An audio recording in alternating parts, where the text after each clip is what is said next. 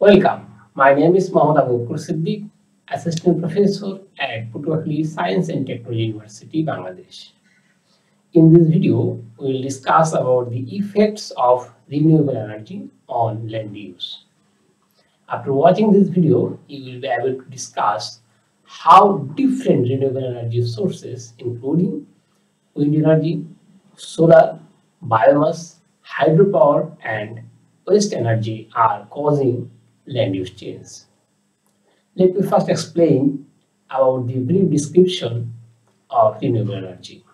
The decision makers around the world are well known about our limitations regarding the fossil fuels we have.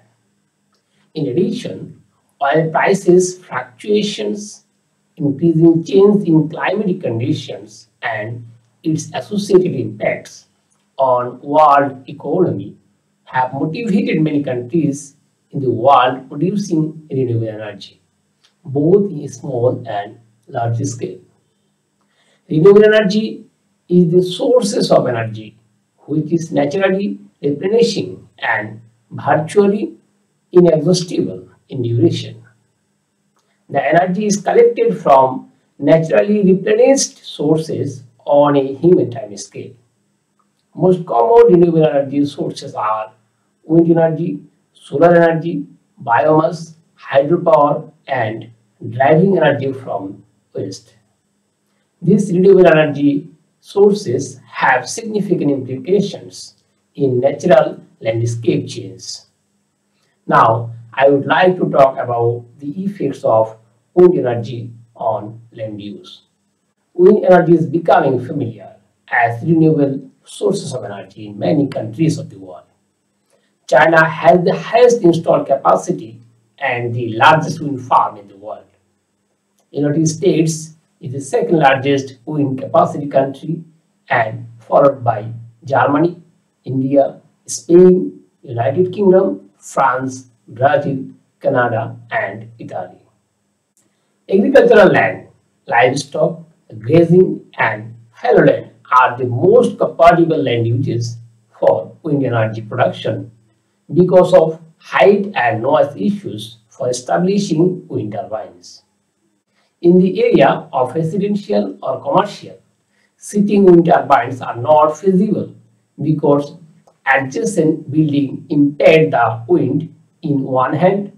On the other hand, the noise created due to turbines cross the recommended noise level of the International Standards Organization, that is 25 to 40 decibel at night, with 10 decibel higher for daytime. The noise created due to wind turbines may vary depending on the power capacity and types of turbines used as well as available wind speed. Usually ranges of noise created by wind turbine is 96 to 180 decibel.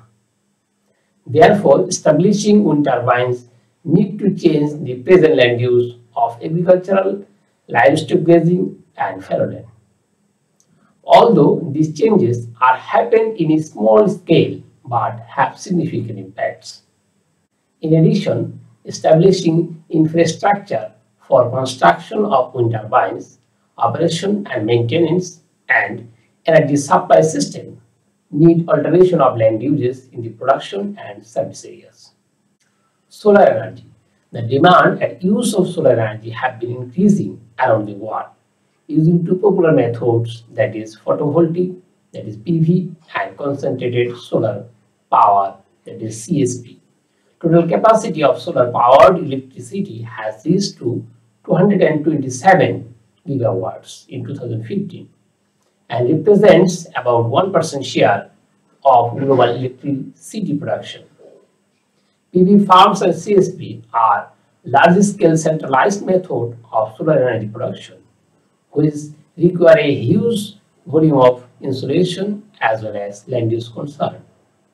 The National Renewable Energy Laboratory, that is NREL, of the United States reported that the average required land area, that is direct use, is about 7.3 acres for producing per megawatt electricity in the country. Denholm and Margolis found that depending on available insulation, about 114 to 261 square meter land is usually needed to fulfill per person's energy demand using PV method. Land use change through forest clearance, construction activities, etc. For, for solar energy production are observed at different rate in many countries like United States, China, etc., which have several potential effects in soil erosion. Biomass. Biomass is considered as the fourth largest source of energy, while the first, second and third sources are oil, coal and natural gas respectively. It encounters about 6.41% of total global energy consumption.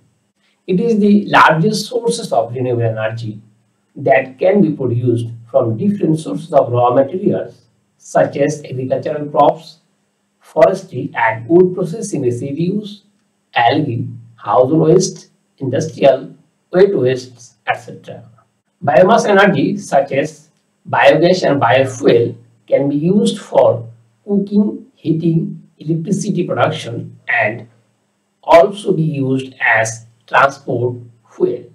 Like other developing countries of South and Southeast Asia, biomass energy is being used as the main source of household energy in Bangladesh. Global demand of biomass energy has doubled in the last four decades and is still increasing. Although 0.5 to 1.7% of agricultural land is currently used to grow biofuel raw materials, but has a great potentiality to be produced both small scale and large scale production. The production of biomass is largely depending on the available cultural land and land use policy, which might increase land transportation transformation. The effect of biomass on land use is largely due to the cultivation and processing of feedstock, as well as transporting fuel to the power plant. Successful biomass energy production involves intensive planning for longest period that takes into account alternative land uses and resource conflicts. Hydropower.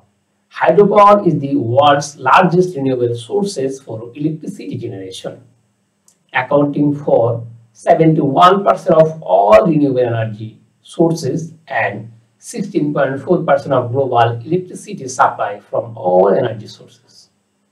As contrast to electricity derived from the fossil fuels, increasing hydropower energy output holds the potential to reduce greenhouse gas emissions.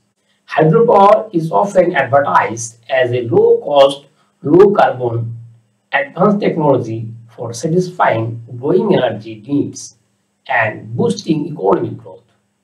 River basin management and reservoir creation for establishing a hydropower plant as well as its associated economic activities may trigger the changing nature of social status and economic well-being resulting in changes in land use and land cover, and hydrologic pattern in the water basin area.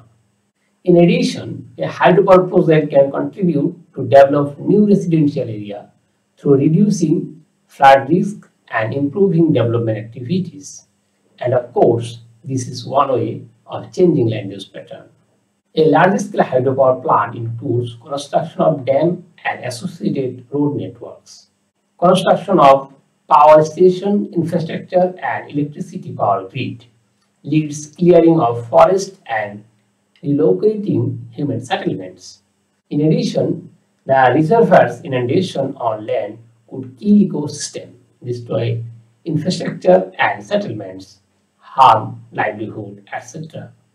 The World Commission on Dams reported that about 40 to 80 millions of people displaced due to the socio-economic consequences of dam establishment activities. Later, a research on land use and renewable energy planning estimated that indirect deforestation rises between 11.3% to 59% and land use for agriculture increased between 7% to 50% due to hydropower development in any given site for any given year. Waste energy. Waste to energy process has a strong significance to land use alteration. Agricultural or commercial uses of land can be transformed to solid waste disposed site in order to generate utility and industrial fuel. According to the origin of waste, solid waste can be categorized into three types. First one, municipal solid waste. That includes food, kitchen, green waste, paper waste, product packaging waste, appliance waste, etc. The second one, industrial solid waste. That may includes inert industrial waste, that is chemically or biologically non-reactive and non-hazardous waste.